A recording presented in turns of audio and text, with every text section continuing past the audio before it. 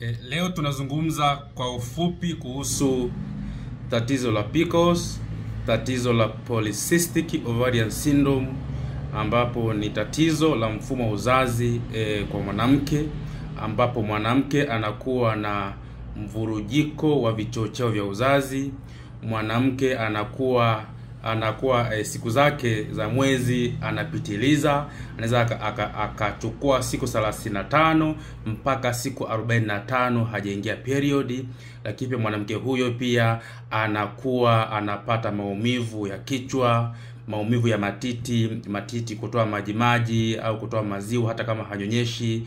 E, anakuwa anapata maumivu ya tumbo hasa chini ya kitovu, maumivu ya nyonga anakuwa hana hamu ya mapenzi, uke unakuwa uko uko mkavu.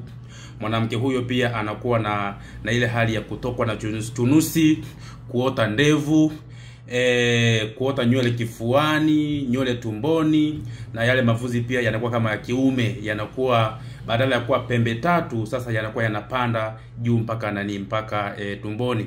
Da, e, hii hali hii ya ya PCOS pia hata ukifanya pia kipimo cha ultrasound utakuta kuna uvimbe e, ipo kwenye mayai mayai ya upande wa kushoto na upande wa kulia unaweza ukapata mm. Sasa kuna wengine wanakuwa na mayai makubwa sana ambayo yanakuwa yanapelekea maumivu makali sana ya tumbo, inaweza ikapelekea tumbo likawa liko zito, ina, inapelekea pia hata kupata hali ya ganzi ganzi kwenye miguu kwa sababu ya uzito ambao uko kwenye nyonga. Lakini pia kwa kuwa kuna uvimbe kule, inaweza pia ikapelekea shida za mkojo mkojo, ukawa unapata ile hali ya kukojoa kojoa mara kwa mara. Tatizo hili la eh, la PCOS kwa sasa hivi linawapata wanawake wengi sana, na tunaona wanapata hizo dalili pamoja na matatizo ya kutokushika ujauzito, ujauzito kuharibika na mambo kama hayo eh. Wanapata shida za presha kubadilika, presha kupanda, sukari kupanda, matatizo ya mafuta mengi mwilini, matatizo ya mudi zinabadilika badilika. Wanakuwa sio watu wanaopenda kukaa na watu, sio watu wanaojibu vizuri watu, yani ni watu wenye hasira hasira tu kwa sababu ya mabadiliko ya vichocheo.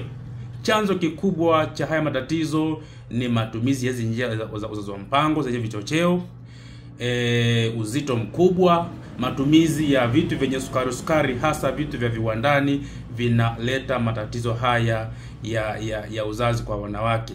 Ndugu wanawake, kama una hayo matatizo, kama moja unapitiliza siku siku zako zinaenda mpaka siku 35 mpaka 45 E, unaota nywele nywele, ndevu, gadelavu, mavuzi yamekaa kama ya kiume, mimba hazi hazikamatiki, e, unapatwa harufu miwasho ukeni, hamu ya mapenzi hauna, ukeni mkavu, tafadhali nenda kafanye vipimo vya mfumo wa uzazi, nenda kapime vichocheo vyako vyote uviangalie, nenda kafanye e, kipimo cha kuangalia e, mfumo wa uzazi kwa kufanya ile ultrasound ili uweze kuona ni kitu gani kinacho eh, kinachoendelea pale, kwa sababu wanawake wengi sana wanapitia hizi hali, na kwa bahati mbaya sasa hawa wanawake wanakuwa wanashughulika na tatizo moja moja. Kwa mfano eh, mwanamke anaweza akawa anashughulika na mambo ya UTI, yani anawaza tu UTI UTI UTI kumbe ana shida ya PCOS.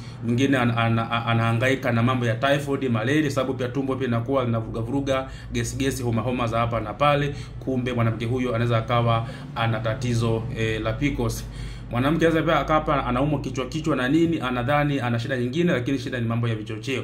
Kwa hiyo mwanamke ukiwa na hizo, ukiwa na hizo hizo dalili kuu tatu fahamu ya kwamba unaweza ukawa una PCOS. Nenda kafanye vipimo vya mfumo wa uzazi vya vichocheo pamoja na ile ultrasound.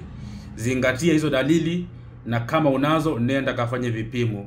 Tatizo lipo lipo sana, na wanawake wengi sana wana, wanapata shida. Kwa hiyo ndugu eh, ndugu zanguni, kama uko hivyo, chukua hatua, lakini pia jilinde pia usipate na haya matatizo kwa kula sana vitu vya kijani kijani, kwa kula sana matunda, kula sana mboga mboga eh? Kuepuka sukari sukari za viwandani, kuepuka hizi e, pombe, soda, na kama uko mjini epuka sana wanga ambao hauna kazi nao. Kama wanga hautumii huko mjini, usiutumie kwa sababu utakuletea matatizo. Sukari ni chanzo cha matatizo yote yote, ikiwemo ya uzazi. Na sukari ni ugali, ni wali, ni viazi, ni chipsi, ni mandazi ni mihogo na vitu kama hivyo. Kwa hiyo chukueni hatua, ndugu zanguni wanawake, kwa sababu hii shida iko sana iko sana iko e, iko sana. Kwa hiyo zingatieni na sambaza ujumbe huu, wafikie watu wengi, wafikie wanandoa wengi, wanawake wengi wanateseka sana sana sana kuhusu hili tatizo la PCOS.